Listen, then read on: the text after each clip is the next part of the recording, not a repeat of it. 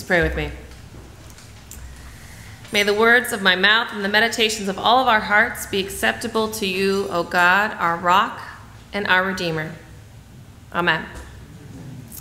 So many of you know that I am very fortunate to take part in the Next Generation Leadership Initiative through the United Church Pension Boards, NGLI for short. It's a 10 year program that's designed to help young clergy who are committed to parish ministry stay in parish ministry. And I admit that it seems a bit weird to be fighting clergy burnout with more theological education, but for me it seems to be working. I've been gifted with training in family systems and congregations, as well as transformational and adaptive leadership. And one of the perks of the program is that they take each class to General Synod, I first got to go to General Synod, which is the biannual meeting of the United Church of Christ to, in Cleveland in 2015, and I just recently returned from General Synod in Baltimore. It's where we gather lay and other church folk come, who come together to discern resolutions of witness and church governance and function. So basically, it's a giant church nerd convention. We also gather in daily worship and prayer. And I have to say that over the two times that I've gone, I've gotten to witness some of the finest preaching that I've ever seen in the world. It's a completely wonderful and completely exhausting experience. And it's designed to help those of us who are die-hard Congregationalists to feel more connected to the wider church. The purpose of both work and worship at Synod is not lost on me. In fact, it was the main focus with our conversations with NGLI and Synod. We had long discussions about function versus form when it comes to the church of the future, raising the questions what are the timeless functions of the church, and in what forms have they been delivered? These were terribly exciting things to ponder, I am sure. So, so exciting, in fact, that we made a super long list and we wordsmithed it like the annoying seminary graduates that we are, and we came up with a brief 32 talking point list about what is the timeless function of the church. For me, I had to simplify that way down. 32 talking points is not sustainable. You would be bored and you would be angry with me at the end of that, so I'm going to break it down to two things. To me, the timeless function of the church is work and worship.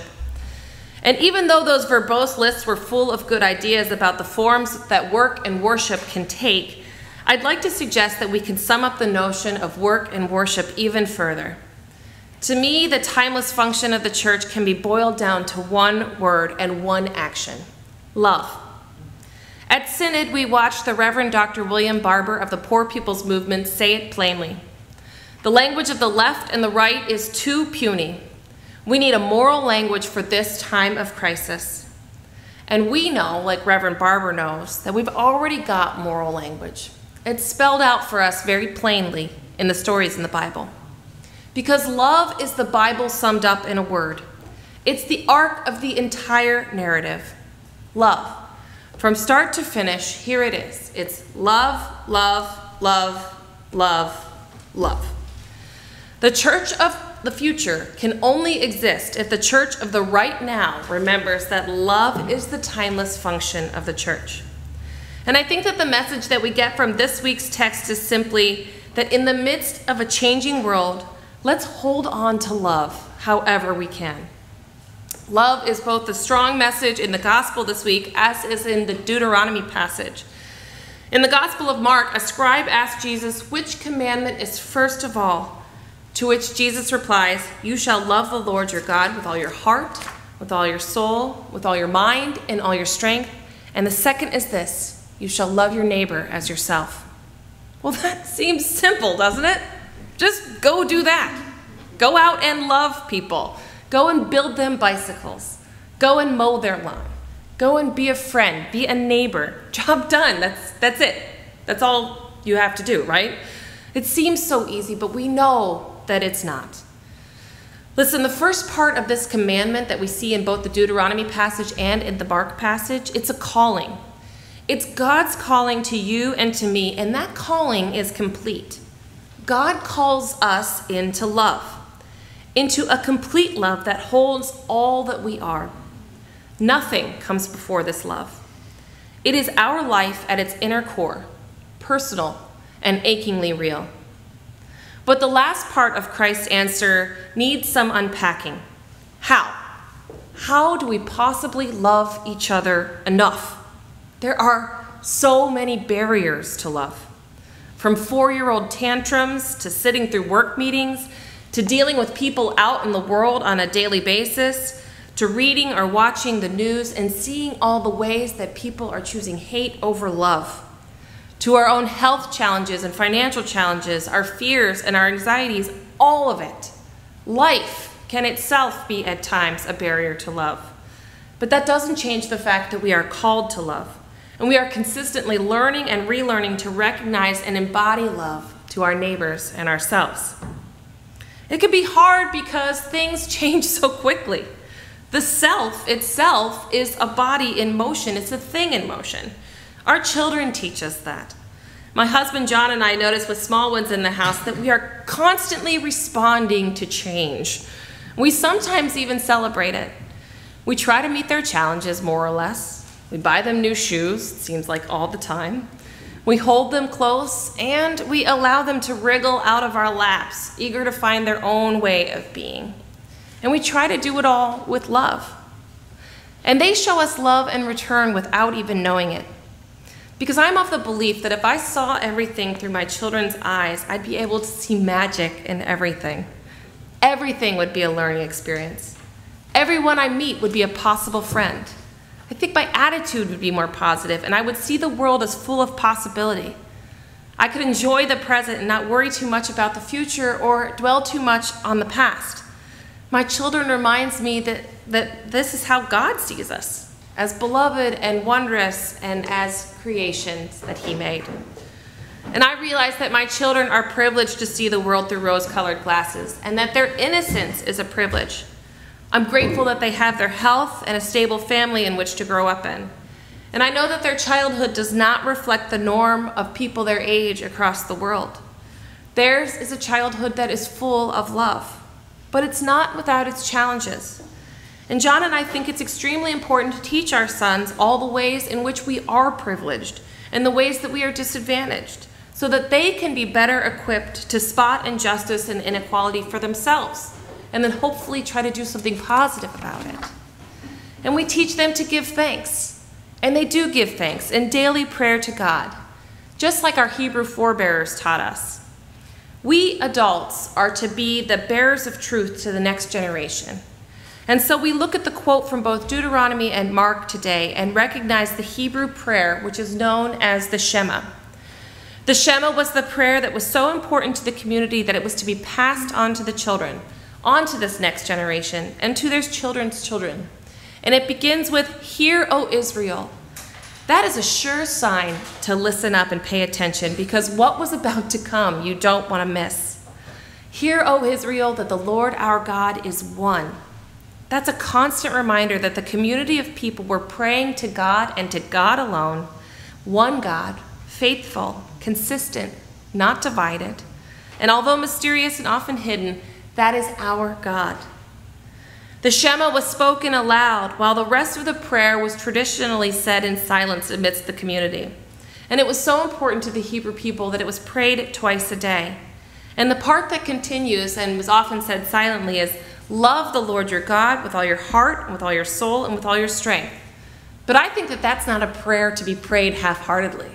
I say that's a prayer that we need to say out loud because it called the community not only to a personal, intimate, and trusting relationship, it's also a covenantal relationship with God and with each other. And it required a total commitment, a loving with our whole being, with our mind, our body, and our spirit. A love that would move people to act as well as to feel. It's a love all encompassing, and it's work and it's worship combined. Other versions of the Hebrew Bible or the Old Testament say simply, the commandment is, you shall love. It seems that this prayer is stating the obvious, and it is. Yet there are many times in my own journey of faith when being called to love, and I mean genuinely love, I feel rather clueless about how to do it. Perhaps this is because I cannot get there on my own. I can bury myself in theological education or I can try staying up in my head, but what I know about love, I've learned from you. I've learned from my parents and my grandparents and my beloved community. I've learned it from my children and my spouse and my friends. But what I'm reminded is that God sends other people from the community to you and to me to remind us not only that we are loved, but that we are called out of ourselves to love. The late Trappist monk Thomas Merton wrote, For to love, you have to climb out of the cradle, where everything is getting, and grow up to the maturity of giving, without concern for getting anything special in return. You see, love is not about making a deal, it's a sacrifice. Love is not something that is packaged to be marketed, it's a form of worship. The people in the book of Deuteronomy, amidst their hardships and everyday struggles, understood this, yet putting into practice was a lot more complex. Merton later wrote that love is the revelation of our deepest personal meaning, value, and identity. This revelation remains impossible as long as we are the prisoner of our own egoism. I cannot find myself in myself, but only in another. My true meaning and worth are shown to me not in the estimate of myself, but in the eyes of one who loves me. And that is one love that must love me as I am, flaws and all, with my faults and limitations, revealing to me the truth of those faults and limitations. And even knowing that cannot destroy my worth in those eyes, and that I am therefore a valuable person, in spite of my shortcomings, in spite of my imperfections, and my exterior marketable package. Merton, Merton goes on to say that this package is totally unimportant. What matters is the infinitely precious, precious, precious message, flaws, which I can discover only in my love for another person. This message, this secret, is not fully revealed to me unless at the same time I am able to see and understand the mysterious and unique worth of the ones that I love. Hear, O Israel, a prayer of the community calling forth not only to love God and to keep God's words in its heart, is also an action beyond an intellectual level, for it's all that is required. And the community of faith was to recite and talk about all of these heady, hard things with children you see, I believe that it's vitally important that we impress these words and these prayers upon our children's hearts. Our children and our young people are to remember the past and to bring the past afresh into the present, creating a memory that generations will follow. And the memories that I'd like to impress upon them are the memories of past loves and future loves that were coming. And along with our children loving with their whole being and passing on their experiences to their children and their children's children, the community was to so love God that they were to bind the words of God on their hands and on their hearts and on their foreheads as a symbol, a symbol of God's faithfulness. I'm not sure if anybody's ever been to a bar mitzvah, but very often during the ceremony, a young person is given tefillin. And tefillin literally are boxes that hold scripture. This is a toy. It's decommissioned, so it's not legit. But they bind scripture onto their bodies during this. I think that is so beautiful. They bind scripture onto their head and onto their arms, and they place it above a vein that goes directly to the heart because they believe that if you put scripture that close to you, it can't help but be a part of you. And I think that that's so beautiful. And that's exactly what the prayer is telling us to do to bind that to our children and leave it to our children and leave it to our children's children. Because there's things from the past that need to be brought new into the present. And we need to have those memories. And we need to have those memories so that we can create hope for generations to come. Because we're called to remember. And we are called to teach our children about love. And we know that love can require space. Because if we set rigid limits, we leave bits of scripture out, and we fail to see what is happening right in front of our eyes. Also, if we treat our children as behavioral problems to solve rather than as fellow pilgrims to cherish, we are counting them out. To truly love ourselves and others, we need to make space for change to happen, and we need to let this love story, God's love story, unfold. But more than that, we need to translate that to the wider church and to the world. And change is hard in a church. It's hard, and it takes time. So we need to lean on the wisdom of the wider church body to join together and make change happen. Which is why I was so excited to learn about the Three Great Loves initiative that was introduced at this past General Synod. It's an aspirational challenge to our other 5,200 local faith communities in the United Church of Christ. It is both formed and informed in full recognition that no one person, no standalone church, and no single denomination can do all the loving that the world requires. And it's a reflection of what we are trained as next generation leaders. It is simple and it is focused that we can't be all things to all people.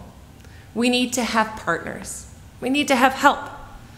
Our president and general minister, John Dorhauer, now beginning his third year at the helm of something like a million members of the United Church of Christ, is soliciting all congregations' help with three priorities for our consideration going forward.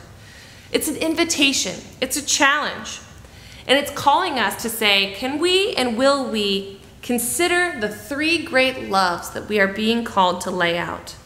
And they are simply these how do we as a congregation and as a denomination share our love of children? How do we as a congregation and a denomination share our love of neighbor? And how do we as a denomination and a congregation share our love for creation?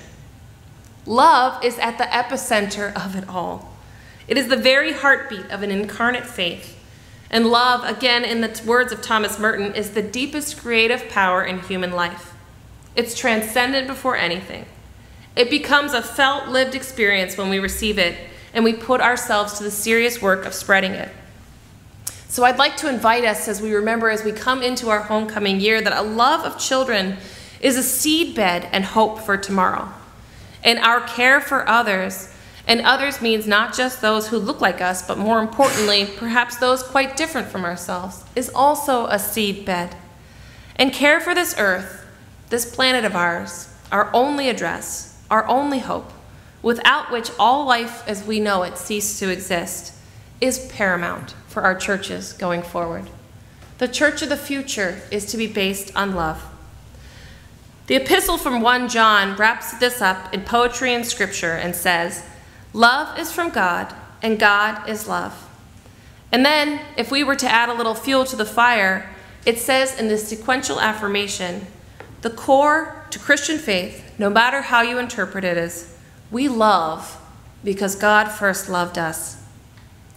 And honestly, to come and to live and to share and be recipients and generators of the power of love will take more than yours or my lifetime to accomplish. Love for children is so simple that it's really quite hard. And love for neighbor is harder, maybe, but it is also simple and timely, as it cannot be just within the sphere of faith, but also in our socio and political conundrum in which we live. We pray for peace earnestly in these days, and we have to lift up a love of creation, because after all, God so loved the world and loved us that he invested huge amounts of time and energy and love, and love that was born to look like advocacy and care and compassion for this earth, the only home we will ever know. So that's my message for our community today. Because Jesus is telling us directly that love is the total reason for our being. It's the sole purpose for all creation and our own unique place in it. Love defines us. It must be who we are and what we do. We're not just taking space and wasting time. We need to be out there to do the job that God has called us to do, which is to love God and love neighbor. And together, I think we can do it. It's God's greatest commandment. It's not just a suggestion. Amen.